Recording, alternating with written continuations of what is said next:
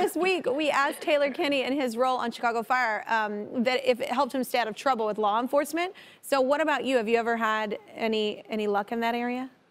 I don't get pulled over a lot. I don't get a lot of experience with law enforcement, but the last time I was pulled over, I was speeding.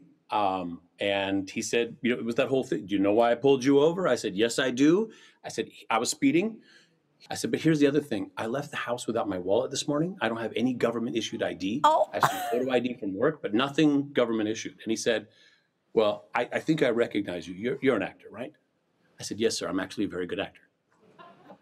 He said, well, if you give my wife an autograph, I'll let you out for the warning. You've been very honest, and you seem, you know, you seem to have regrets. I said, absolutely. What's her name? He said, it's Lily. I start writing an autograph to Lily. He calls his wife, says, hey, honey, I'm getting you an autograph.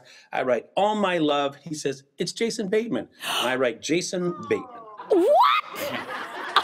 oh my God! You totally wrote Jason Bateman.